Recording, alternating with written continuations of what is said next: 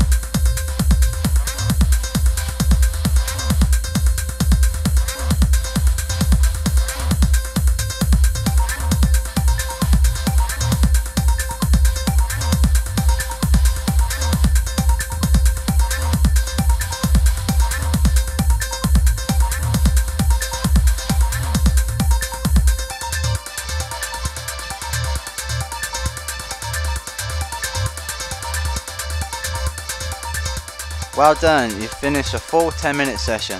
Be sure to leave a like if you enjoyed the video and you'd like to see more full sessions.